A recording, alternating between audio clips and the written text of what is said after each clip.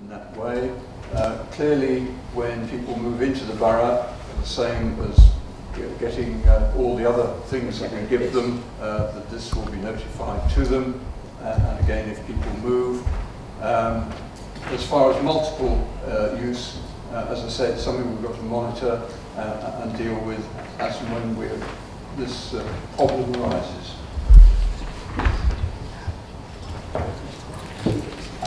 you. Councillor Bray, you have two minutes on Right, I won't read out my question in that case. I've got a question for Councillor Robinson about 21st Century Council. Uh. Um, it's true to say we've got an opportunity to transform the way the council interacts with our residents to make it easier and simpler for residents to find the information they need, access services they require and track progress on issues on, on the way to being resolved. This will enable people to track the progress of their own requests and queries online, reducing the risk of email requests being missed and save the cost and inconvenience of having to contact the council to get an update. As we develop our plans, we'll of course want to capture the views, experiences and ideas of our residents to help us get the changes right. We will do this through a variety of ways. We'll use existing communication channels such as our website and asking customers who ring us. We will also use social media presence to engage people. We will hold public events and set out our aspirations and goals and ask our residents to help us achieve them, enabling us to save money and improve the experience that people have dealing with the council. The leader and the chief executive have also already offered to meet every town and parish council to discuss this change programme Many meetings have already been scheduled and we're talking also to our partners in other agencies about the changes and any ideas they have as to how we should go forward. You have a very quick uh, Very quick supplementary. Um, my concern uh, is at the margins really about the most vulnerable people in society who are the least likely to be able to cope. Um, can you explain what you're doing to make sure that they can keep access to their services? There's no intention of taking access away from people who can't access through electronic means. We know that, for instance, with the libraries, we have people that want to come and visit libraries locally. Um, there's no intention to take um, the ability to access council services direct face-to-face -face away, from, away from the public.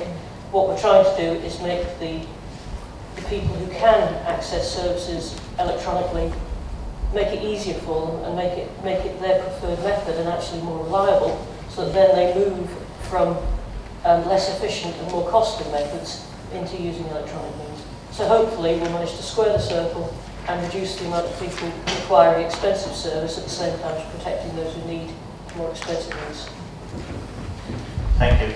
Uh, Councillor Cowan and Councillor Jones, you will be receiving written replies that we've read at the time. Uh, minutes of committee meetings, ward matters. Do we have any questions to be asked?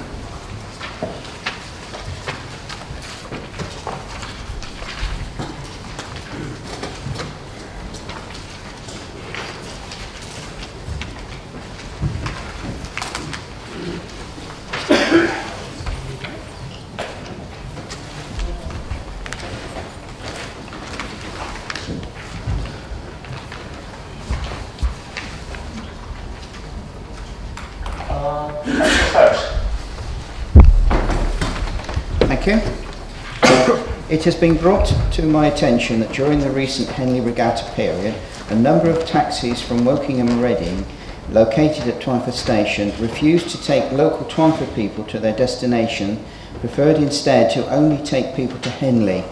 In addition, I've had concerns raised about some of the charges made for such journeys to the Henley area. What can be done to ensure that such actions do not occur again? Uh, thank you, Lindsay. I wasn't aware of that able to have a conversation or send me an email afterwards, I'll be happy to look into it with the licensing authorities. Thank you. Yes, I can. Uh, thank you, sir. Um, a point of clarification uh, with respect to the question uh, for Claire, uh, probably question Claire Symes earlier. Um, the officers at the Arborfield Garrison Forum said that the underpass was considered to be unsafe and there was going to be, at some point in time, an. Yet the question did refer to. My question is a ward matter, and this is, as the Arborfield Guards Garrison Public Forum held on June the 29th, officers gave a presentation on safe walking routes to Bohunt School. As the executive member responsible, do you approve of the plan And have you seen and approved any risk assessment attached to this plan? Thank you.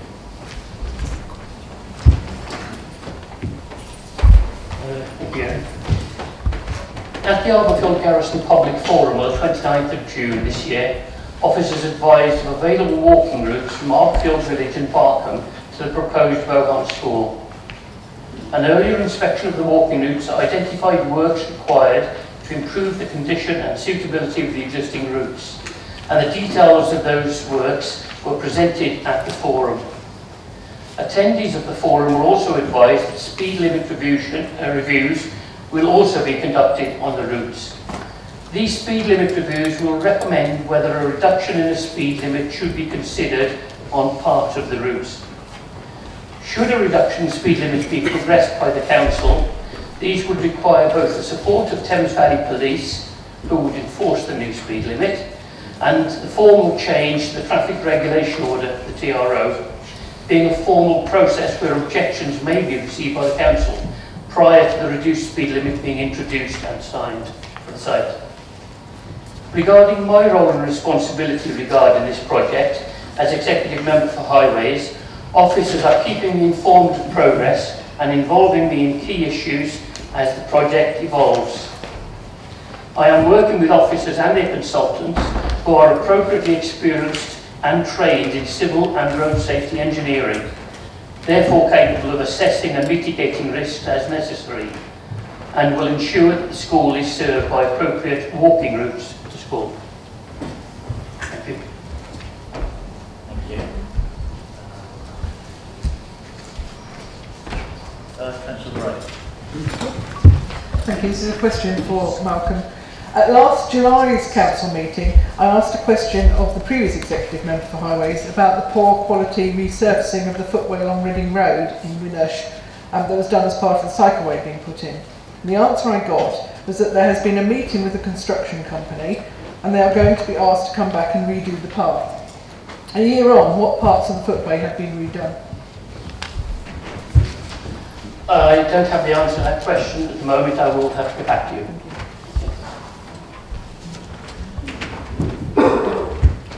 Councillor Jones. Thank you, Mr Mayor. Uh, my question is also for uh, Malcolm Richards. Since the new Sainsbury's store opened in Maiden Place Shopping Centre, the volume of traffic has increased. This leads to problems sometimes for parents crossing the road with their children. A number of residents have asked for a zebra crossing to be installed to help them cross the road safely.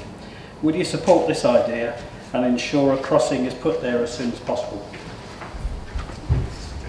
Again, I'll make sure that this request is passed on to the appropriate officers and discussion, and we will keep you informed. Councillor Shepherd Bay. Last but not least. Malcolm again. Can you guarantee that the temporary opening of the King Street Lane intersection of the Winnersh Relief Road will be closed in May 2017 and not reopened again until the council-built part of the Relief Road is opened? I don't have a crystal ball or the answer to that question at the moment, so I'll have to get back to you. Councillor Rowe. Thank you, Mr Mayor, and, and once again my congratulations. Um, I will arrange counselling for you. Um, I, I don't want to talk to Malcolm, I'd like to, to speak to Angus. Um, it's his. Um, about the Bulmershe consultation and how disappointed I am in it. Um, lots of my residents don't know about it and when I'm talking to them and saying you can find it on the website, I couldn't and they can't although I do understand from Prue that she came across it today. And perhaps it needs to be signposted in an even better place.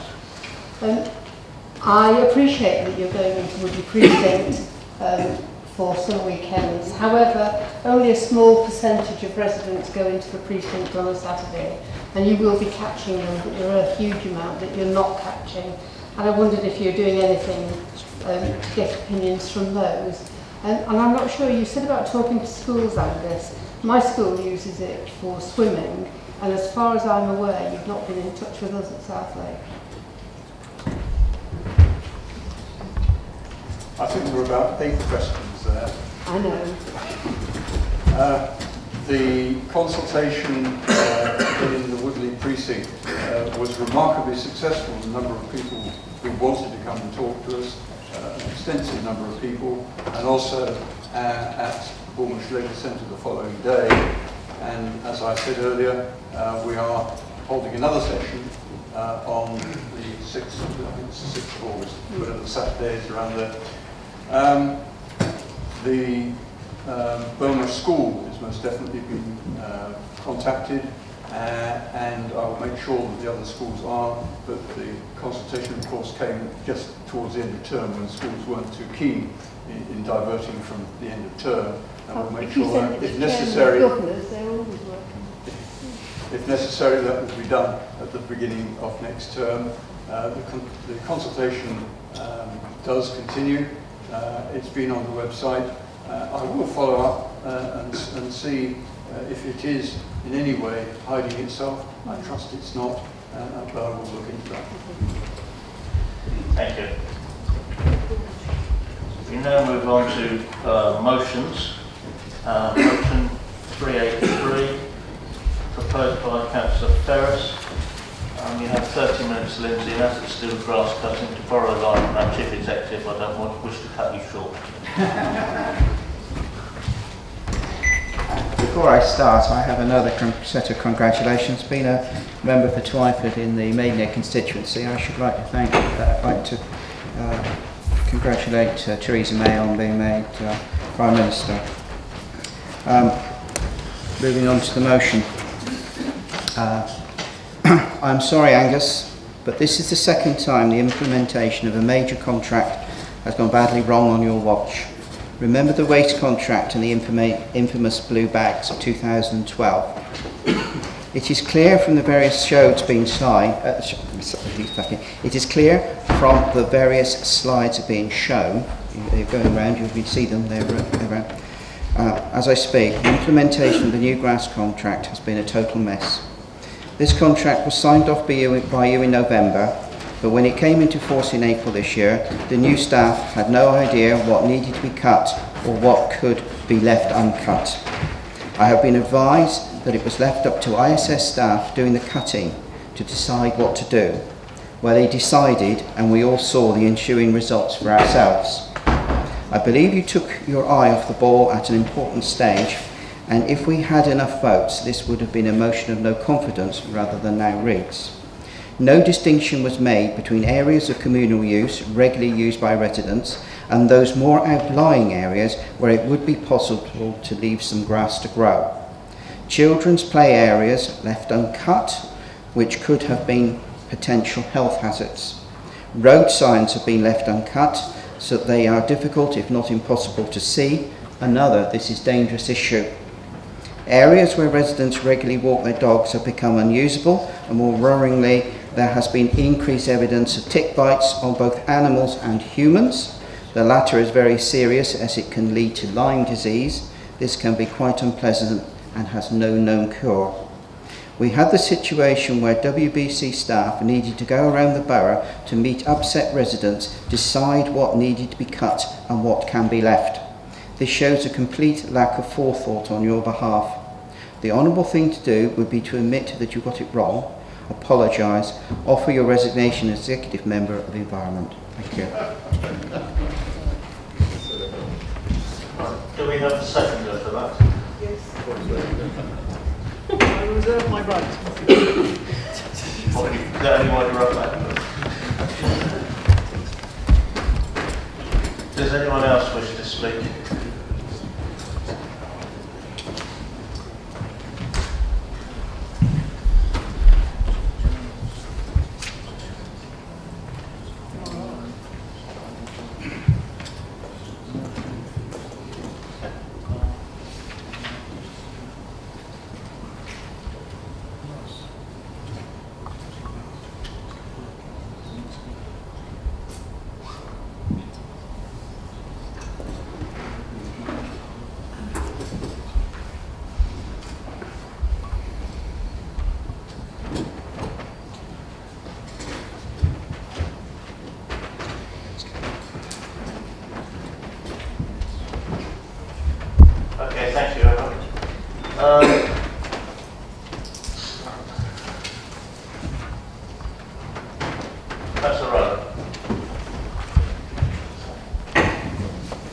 Thank you again, Mr Mayor. How could you get it so wrong? Is what my residents are asking. In my 20 years as a member of this council, um, I'm not quite sure which process wins, whether it's blue bags or grass cutting, for the most complaints from residents. I have to extend my thanks to Pete Baverstock as he was involved in both of these schemes. He always smiles, he is always gracious. I suspect the words he says don't always reflect what he's feeling. And my thanks go to him for always being kind. If you want a meadow, then you need to be prepared to do a meadow. It doesn't just happen. It isn't God-driven, or at least not as quickly as you'd like it. Earley Town Council did a really good job, and have done so this year, of planting wildflowers. Woodley Town Council have a wonderful wildflower display in Woodford Park, but they didn't just happen. There was preparation and then seed sowing, and you do need to care for them. On the amendment that we have on the desk, Angus, um, there's a comment about misunderstanding the terms of where to cut and not to cut. I would suggest that it's your job to ensure that clear directions are given to contractors that cannot be misunderstood. The responsibility has to sit with the council. You said just a few minutes ago that residential verges would be cut to a high standard. Well, I'm still waiting, although the verges that I requested to be cut have been cut. High standard, not in my book. Um, Angus, your only option is to accept responsibility and issue an unreserved apology to residents in this borough. I look forward to hearing that. Thank you. Councillor Ross. Thank you, Mr Mayor. Um, just one little correction of fact. Um, I was not involved with the introduction of the blue bags until after they'd come in. Um, but that's another story. We've always recognised the difficulty of introducing a new grounds maintenance contract, especially on the 1st of April, when we have a high grass growing rates.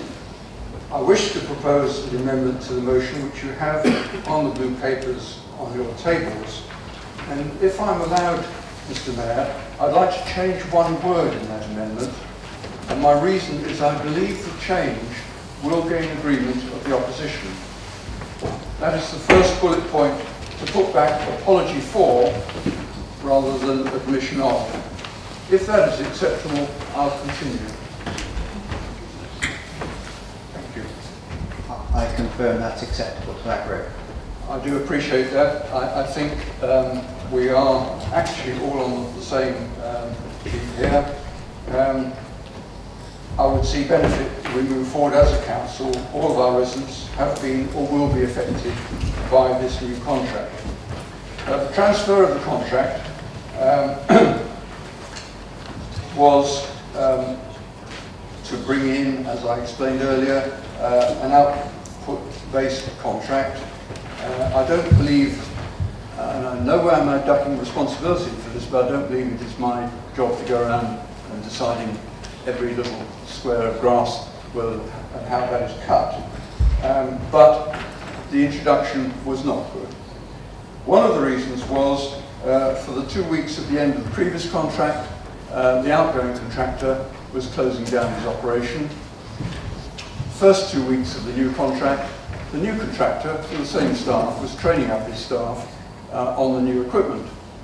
Hence, we had a month of no grass being cut um, at a time when it was growing like a bilio. Um, not good.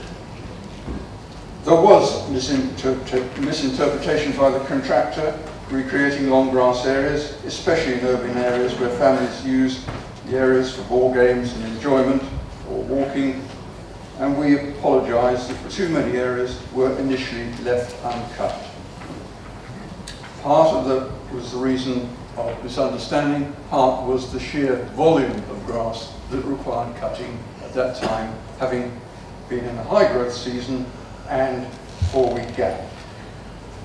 However, as I mentioned earlier, a big problem uh, as officers and members engaged with the residents was the polarised views of residents between those who embrace long grass and biodiversity and those who want all grass close cut.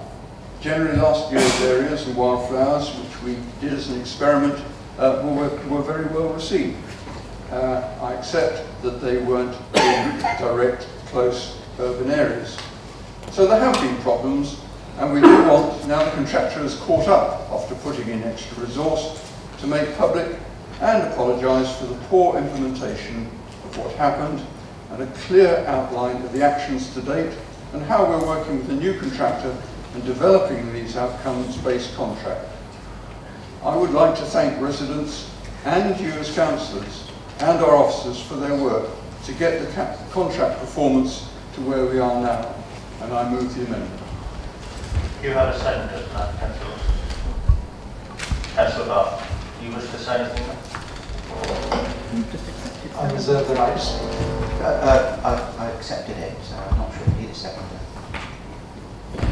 I was told, I was told I did so. Belt and braces. okay, I confirm that we are now debating the amended motion with the word apology inserted instead of um, admission. That's the word I was looking for. Right, who are you next? Councillor Jones. Thank you, Mr Mayor. Uh, like many councillors from both sides of the council, I've been contacted by lots of residents who have complained to me about the state of the grass verges and the play areas where they live. I'd like to praise the officers who are trying to sort out the mess left following the pretty poor renegotiation of the grass cutting contract last year. It seems to me that when the executive member renegotiated the contract last year, didn't pay enough attention to detail. The aim was to keep the grass short in some areas and allow it to be longer in others. But there wasn't a plan in place which detailed which areas were which and what grass cutting was needed to be done within the borough.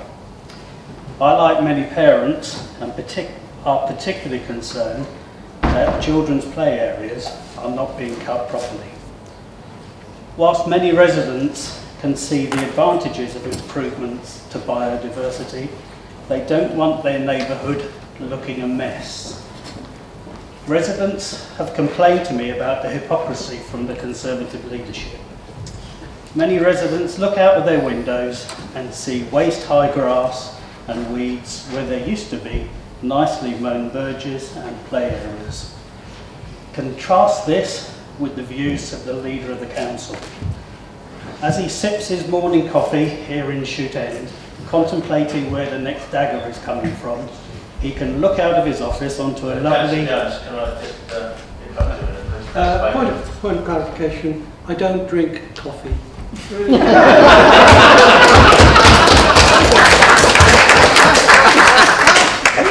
as, as he sips his tea or water, I'm sure it, I'm sure in the morning it's not alcoholic. but as he looks out of his office onto a lovely manicured lawn, which I note has been cut several times already this year, the hypocrisy is not appreciated by residents.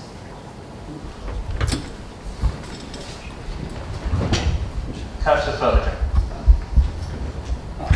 Thank you, uh, Mr Mayor. Um, just before I start, uh, following your announcement, I'd like to wish you, both of you, all the very best for the future. Um, absolutely, I'm always open for that. Always open for a bit of business. Um, just before I really start, I'd just like to thank uh, Beth Rowland, Councillor Rowland, on the comments she made about Earley Town Council. Mm. Um, because only until a year or so ago, I was actually chairman of Meetings on Leisure for a good number of years, are responsible for all that. So it's good to have some feedback there. Um, I think it's fair to say there have been a number of challenges and teething problems with this new grass cutting contract. As we've heard earlier on, not all areas of grass need to be cut on a regular basis, such as grass verges although, as we've heard earlier on, play areas and sports pitches do need to be, and I absolutely agree with that. Um, one of my earlier things um, was about the maintenance about sports pitches as well, which goes further than this. Um, but in my dealings with officers on this subject, as a, as a result of quite a few emails I've received, and I know others received them as well, from residents in my ward, the grass has been cut promptly.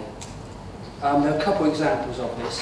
The Hawkton Way play area and the area around Wickham Road. Um, this contract itself is for 10 and a half years, which will give plenty of time for it to bed in and to learn from these early issues and challenges. I'm pleased to say we have a dedicated team of officers at Cleaner, Cleaner Greener Services and I'd like to personally thank all of them. For your information, the contractors have increased the amount of short grass in most areas but have continued to increase this as they progress their cutting rounds. Um, it's not all doom and gloom as the original uh, motion would have you believe. I support the amendment. Thank you very much. Uh, Councillor Secretary The Woking Grass Cutting Campaign, sponsored by Piriton, Claritin, and some other antihistamine manufacturers. I'm sure the chemists in the area are quite happy with the increase in their sales. Uh, when I inquired about the grass cutting contract, I was told it was a pretty good consultation and a number of people voted in favor of not cutting the grass and producing large biodiversity areas. When I actually got down to the numbers, there are about 160,000 residents in, in Woking Borough Council. 173 people responded to the survey, and 110 supported varying the frequency of cutting. I'm not quite sure what they actually thought, maybe cutting it more often. Uh, that's less than 0.1% of Wokingham's residents. And of the ones that favored grass cutting in different levels, that's seven tenths of a percent. That's not very much. That's very insignificant, at least it was so in my statistics class many years ago. I believe that people never imagined the mess that this would cause. Unfortunately, most of the major diversity areas are probably creating fleas, ticks, mice, and more hay fever more than anything else.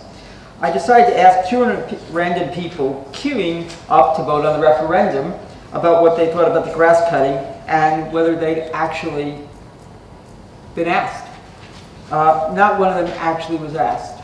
I would like to suggest perhaps they consider using the text alert system for roadways and telling people there's actually a consultation on and that they might want to do it. Just putting it on the website doesn't do a whole lot. And putting it,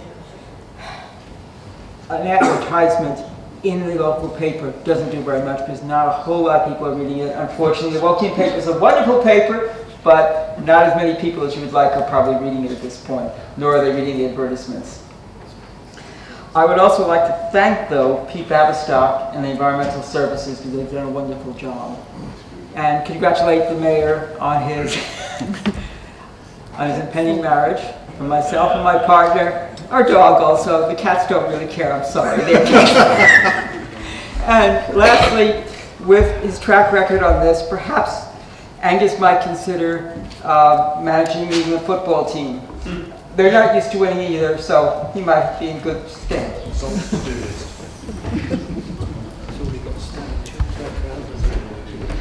Councillor York, So- Thank you, Mr. Mayor. I wasn't intending to speak on this, but um, I'd just like to set a couple of um, things straight.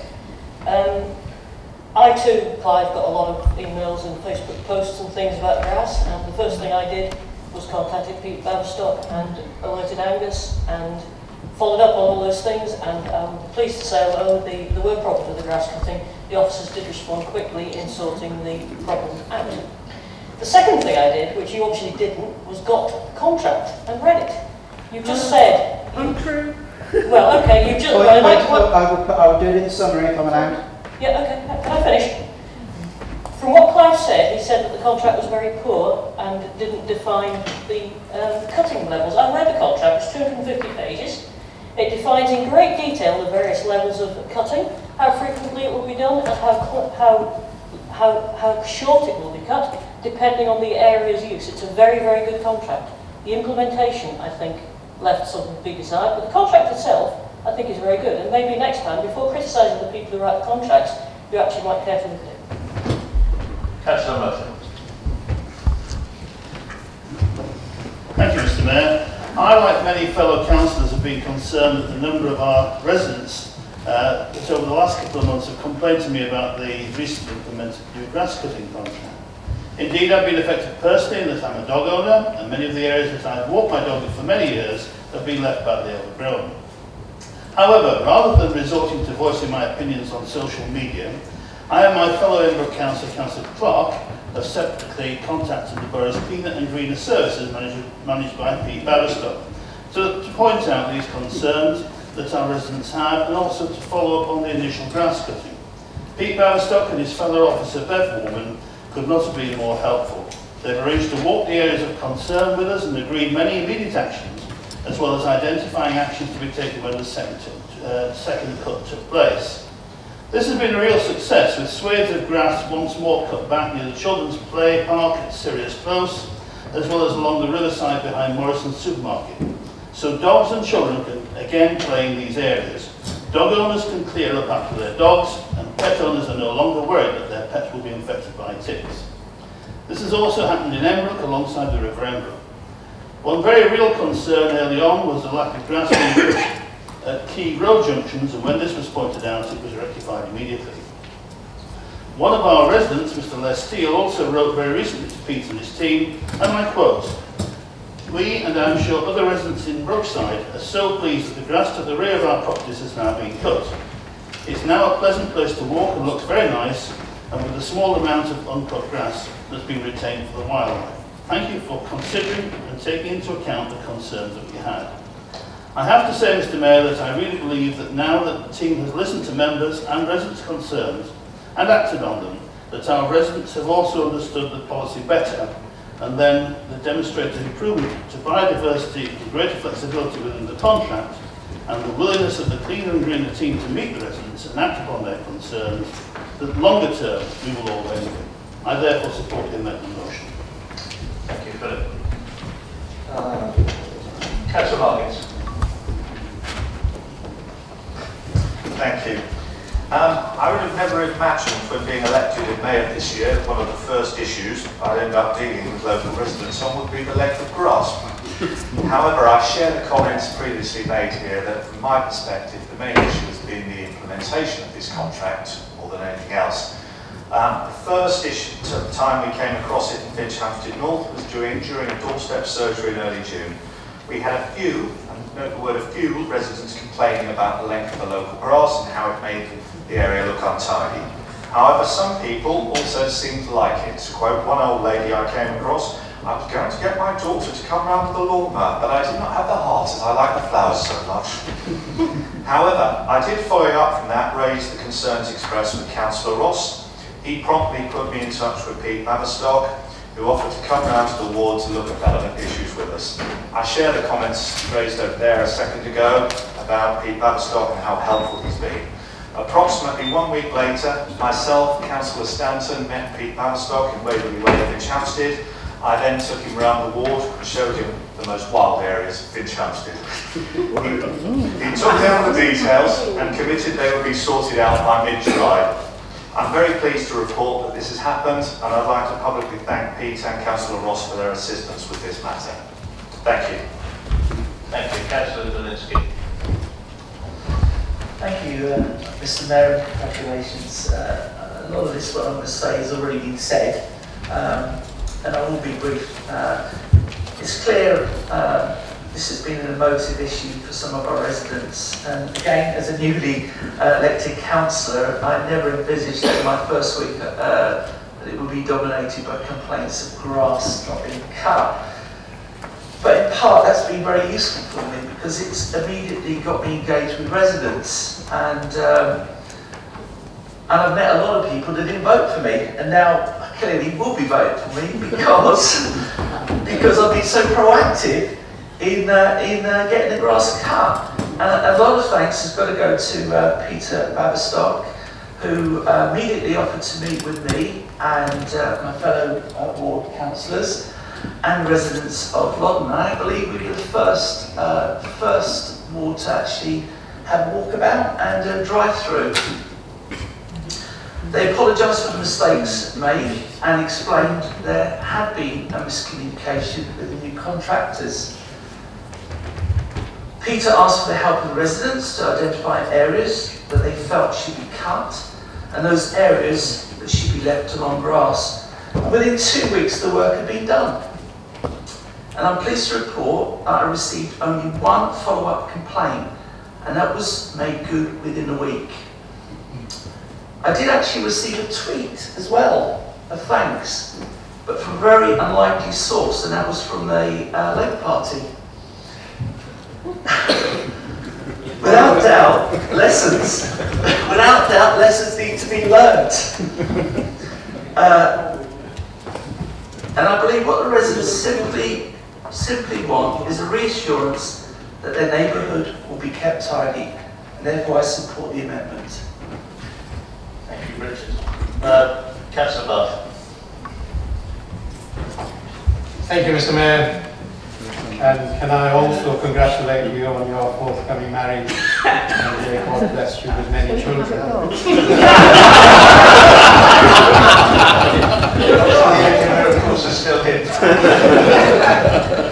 and grass cutting issues were also reported by Ward Shinfield North. And I thank Peter Baverstock, who's been named, that names he mentioned several times, and his team for actively engaging with the residents, members, to put right the current issues. With a new contract, there were bound to be teething problems, and we are where we are. However, I think that the uncut grass issues were resolved fairly quickly as some of the issues became community safety issues. The media coverage was also inevitable, and this prompted, further prompted officers and members respond quickly to our residents' complaints. We encouraged the contractor to firmly agree our policy. The contractor needed to firmly assert the policy with their cutting team so that they fully understood the policy and not their own inter interpretation. I think their misunderstanding may have resulted in the current situation. Once the contractor and the teams fully understood our requirements, they, these were enacted upon and implemented. I believe that we doing we being the troubled customer, asserted our authority on the contractor and held them to account to provide the correct and effective service. Peter Baverstock and his team promptly and sat very hard on the contractor and as such the contractor reacted very, very uh, well. They brought in hit squad to tackle specific issues. They brought forward the fourth cut they sourced this with no stone unturned. They partnered with our performance officers to be very pres prescriptive around particular areas. We asked them to focus on customer complaints and key visual areas in the budget. They worked with community partners to get this right. We now have a very visual evidence of these actions. We are getting favourable, so favourable social media comments Uh, and I have many compliments about what we are doing too. All inquiries made received may receive a personal response from a broader team. Member communications were sent out by the officers. Town and parish also, town and parishes also received leaflet explaining our actions. I, con I conclude therefore that Councillor Ross and I and the Environment Directorate took firm action respond to a very serious issue within the borough. I can therefore support the amending amendment to the motion. Thank you. Thank you, Councillor Bright. Thank you, Mr Mayor. I've done all the congratulating, haven't I? I don't need yeah. to do that again. But Keep have a stop. In, in um, 2014, after being heavily criticised for poor performance, the council asked for views on the grass cutting service.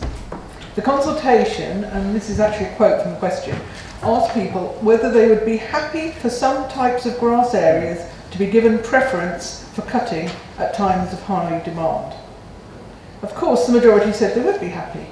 But asking whether some areas should be lower priority than others is an entirely different thing to asking people if they wanted their local green spaces left with grass so high children could not play on them, and so high indeed that dog owners could not retrieve dog poo.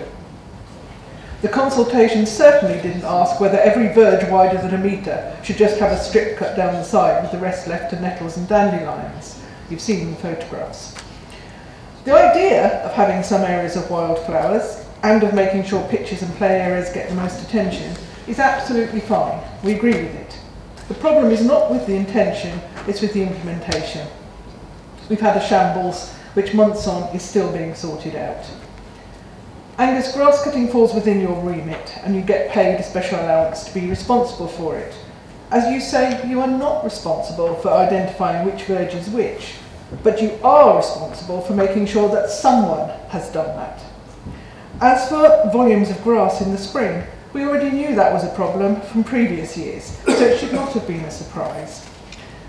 From various comments that the uh, Conservative councillors have made, it sounds as if they don't think we've been reporting problems with grass cutting to offices in our areas. We have, over and over and over again with different areas. I, I've lost count.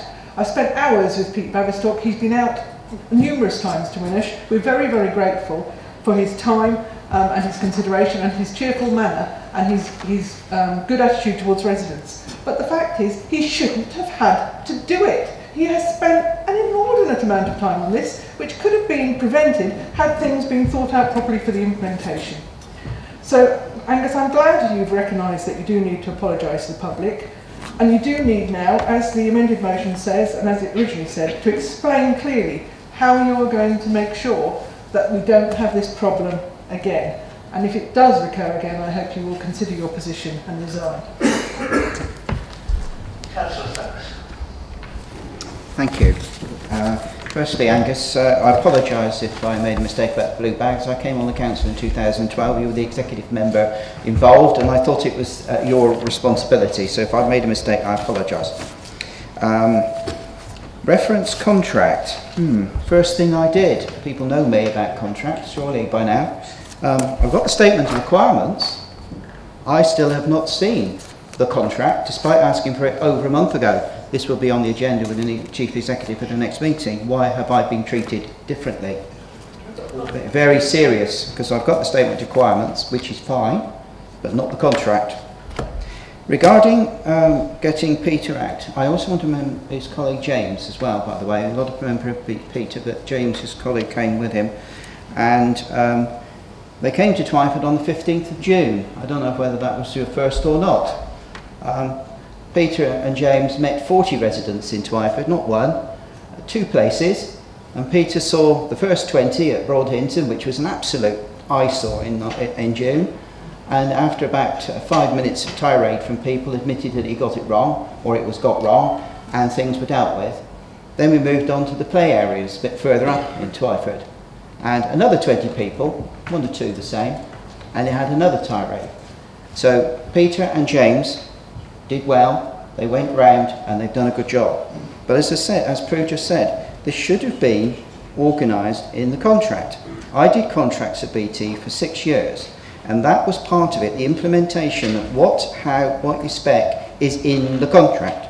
I haven't seen the details of the 25, 250 pages, but I can assure you when I do, there should be a summary in the contract which says this area is going to be left this area is going to be cut and these areas are to be decided. Now, if it's not, then I think that is a deficiency of the contract. So I will be looking at that with, with uh, thing. And if I haven't got that contract before the next meeting with the Chief Executive, I want to know why. But I want to go on. I want to thank um, Angus for agreeing to apologise.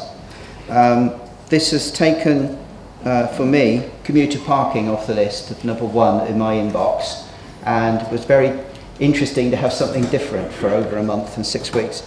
Regarding having got everything sorted, I'm not so sure. I've had another second complaint about Broad Hinton, so there seems to be, we need to keep an eye on things.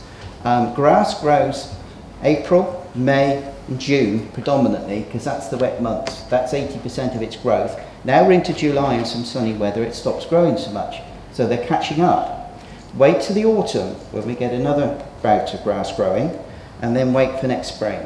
So I think we need to keep an eye on it and I think it's um, an issue that we as a council need to be done and I think at the moment it's accepted the implementation wasn't good enough And the second and third parts, we've had some explanation about the what happened, but it's the future and the way forward to make sure things going, which is the future, which is important. So thank you very much, and we'll move on now, thanks.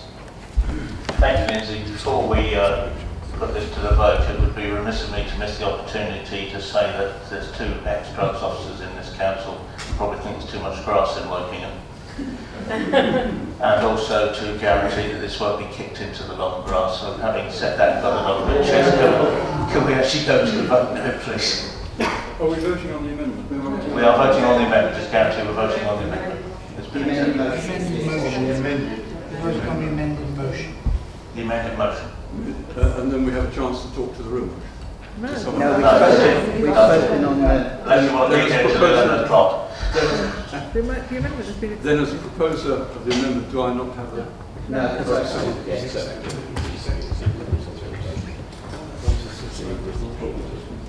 So can we go to the vote on the amended motion, please?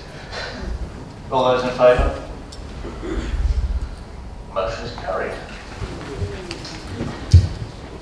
The next motion is to be proposed by councillor Baker, seconded by councillor Bray. I think, I'm sure this won't take you long. Thank you. And can I propose an extension? Um, I'm looking over it, if approves that acceptable. So I think this is um, probably one of the most important motions this council has had to debate. Um, so, Keith, you can't do it till after 10. You, you don't need to, we've got half an hour anyway. Okay, fine. Thank you. Thanks for the clarification. Uh, in proposing this motion, I'm not going to bombard you with statistics about the increase in reported offences or the changing nature of these offences. I'll leave that to others. The reason why I do not need to do this is that hate crimes, racism and xenophobia should not be defined by the volume of incidents. Any incident, no matter how small, is concerning and suitable action needs to be taken. We are a diverse society and I believe this chamber reflects this with councillors from both genders, different ethnic backgrounds and from all different walks of life sitting here today. Each and every one of them have the opportunity to serve their community in one way or another and no position is off limits to any of them. So why debate this now? What is the difference between now and compared to before? Well, unlike some people, thank you, I do not believe recent events have moved individuals to become racist or xenophobic, where they were not before. Those individuals have always felt that way, but now they are emboldened to come out of the shadows and carry out their hatred openly. But in stepping into the light, these people have exposed themselves. Authorities can now gather suitable evidence on them in order to pursue a, successful prosecution. This was extremely difficult before, as their actions were always just outside of full visibility. This council has always and will continue to work closely with the police and all uh, other agencies on any incidents that it becomes aware of. So how do we move forward on this? I believe it is a mixture of education coupled with strong enforcement measures. Many of the current perpetrators of these actions are simply unaware of the true background of the individuals they are targeting. This is where education and awareness is important to change their views. However, this will not work with everyone. Some who have deeply held views will never change. For them, strong enforcement is required to isolate their activities and demonstrate that they are the exception and not the norm. The final sentence of this motion says, we reassure people living in this area that they are valued members of our community. This statement has never been more true than today. As leader of this council, I have no hesitation in saying that whoever you are, wherever you come from, whatever the colour of your skin or the nature of your religion, as long as you obey the law, respect your neighbours, and want to work hard and get on, this borough will always be open to you. Mr Mayor, I recommend this motion to council. Thank you, Keith. Councillor Bright. I've struggled with my speech for this motion. It's not because it's difficult to know what to think or what to say about it, but because of the almost overwhelming outrage, anger and despair that I feel at what has been happening. How appalling it is that we have to explicitly tell people that we condemn racism and xenophobia. A few weeks ago, I would not have believed such a thing would be necessary in 21st century Britain. But the ugly underbelly of this country has been well and truly exposed following some of the rhetoric used in the referendum campaign. People who have been holding racist views all along, as Keith said, now feel able to express them openly, not just in words, but in deeds, even burning people out of their homes. I have never felt so ashamed of my country. Up and down the country, people have been told to go home just because they don't look white and British. Yes, even in Wokingham. I am disgusted, I'm embarrassed, and I'm angry that there are so many ignorant bigots in this country. They don't care if you're Polish, Romanian, or British Muslim, they just want rid of anyone who isn't like them. I am fearful of where this might lead if we don't take a stand against it. Nationalism and hatred are dangerous, and I feel nothing but contempt for people like Nigel Farage who exploit concerns about immigration for their own ends, regardless of the consequences to society. At least here in Wokingham, councillors of all political parties stand united in condemning racism by supporting this motion, which has been promoted by Amnesty International. When the same motion was put forward in UKIP-controlled Thanet, the majority of councillors voted against even debating it. Shame on them. One last point. Um, some of you may be aware of the safety pin campaign. As you can see, I'm wearing a safety pin. In case you're not, let me tell you that people are being asked to wear safety pins as a public symbol of solidarity with immigrants. I'm wearing this very large one, and I do have a few spares if anyone else would like one. I urge everyone to vote for this motion and to stand up against bigotry and hatred. It has no place in our society.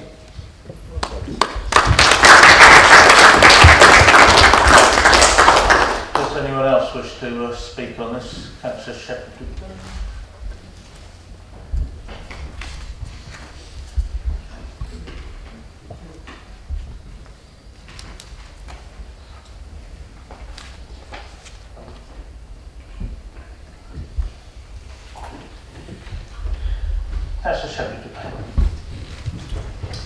It used to be quite un- very un-British and quite boorish to be a racist in the UK, but all that changed when some campaigners for Brexit used veiled racism and xenophobia as part of their campaign, including a march of migrants that was a copy of a Nazi propaganda poster.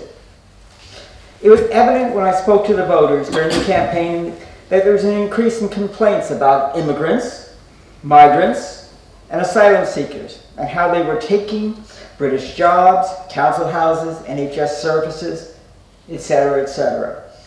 The most interesting experience I had is I was speaking to a voter, and he told, and he told me, I hate immigrants. And I did say, you do realize that my accent is slightly west of Berkshire.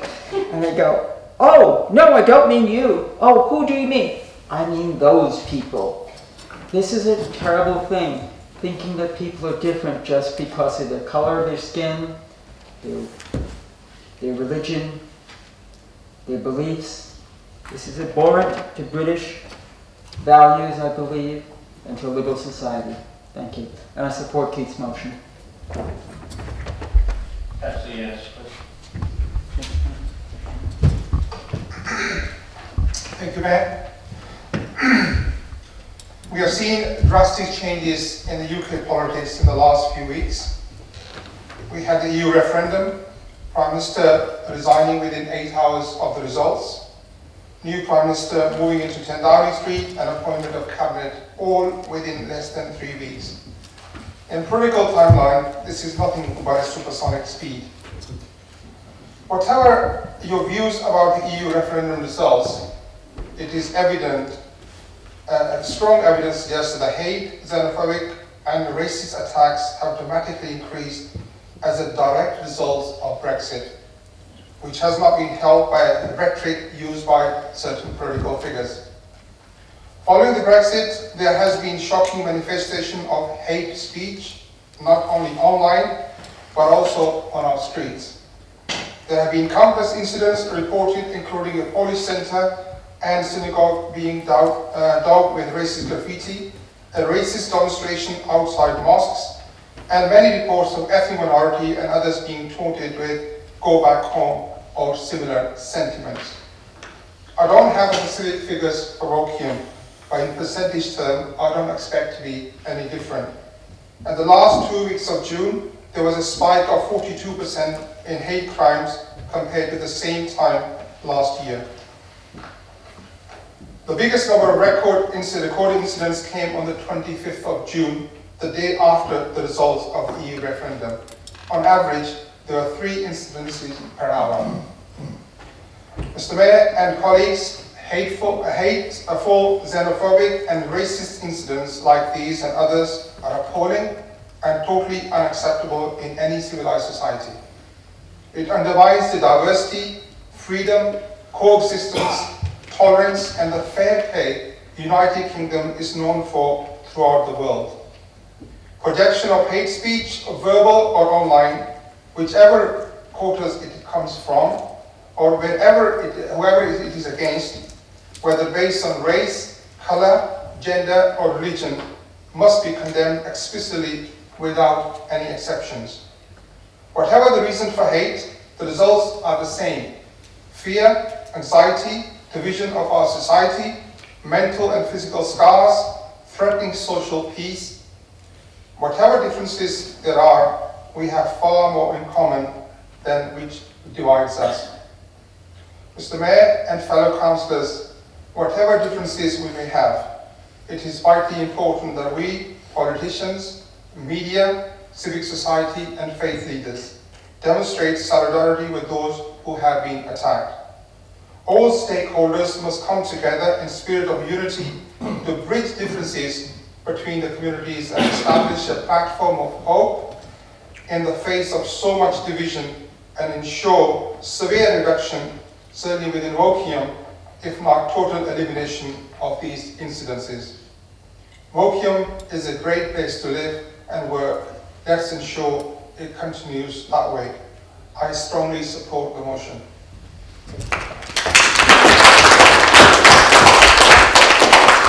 Councillor Jones.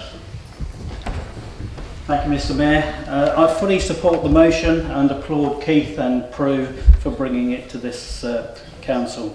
It's a real shame that following the Brexit vote, there's been an unfortunate increase in hate crimes and racial intolerance. In my view, this has come about following the anti-immigration comments from the Leave campaign who used aggressive and unfortunate language. Without the help of immigrants, our National Health Service simply would not function. Our hospitality industry would not function. And immigrants provide many, many specialist workers in lots of our industries in the UK. I hope that this motion proposed by Keith and seconded by Prue will reassure all people living here in Wokingham that they are valued members of our community. Councillor Kalinsky. Thank you, Mr Mayor. Post-referendum, there's been many worrying news headlines. Headlines that report there has been a barrage of abuse aimed at the Polish community. No more Polish vermin. Signs are indeed shocking. It would be easy to blame Brexit, but the truth is that racism, xenophobia and hate has always existed in our communities. What we're talking about is a very small minority of ignorant people intent on hate. Hate as an excuse for their inadequacies. The guy who attacked the Polish Social and Cultural Association in Hammersmith was caught on CCTV wearing a bright orange jacket whilst trying not to be noticed. I'm thinking, not intelligent. The incident has been treated by the police as a hate crime due to the racially aggra- aggravated nature of the criminal damage. It would be naive to think that such attacks are new. While we have made significant progress in pushing back against intolerance, for some parts of our communities across the country, the threatening undercurrent of prejudice has remained, barely contained beneath the surface. It is particularly disturbing that di- diversive rhetoric around immigration has come from both sides of the argument, which perhaps was more acute in the run-up to the referendum. Unfortunately, this has been taken by some as justification for violent attacks. In our diverse society, councils have a growing role and responsi- responsibility to work to eliminate racism and xenophobia. They must support victims of abuse, tackle race inequalities, and work to help integration of minority ethnic communities by promoting good relationships locally. Local groups must share that responsibility. Last month I had the privilege of attending the opening of the fast the Islamic, as the Islamic Centre in Earley. The Imam talked about building bridges to come together as a community to reflect on values of charity, peace, justice, and tolerance. We all recognise that for every great building project, we need a great architect and a reliable builder. And that's how I see the role of the council. Therefore, I support the motion as I believe this chamber is united in working together to ensure that local bodies have the support and resources they need to fight and prevent racism and xenophobia. I will end with one final thought. It's just as much a crime to ignore as it is to commit the act. Thank you.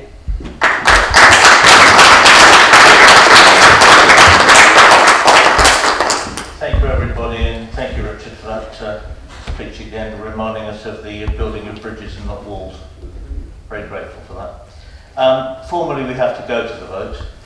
So, um, sorry, Keith, I forgot you have right.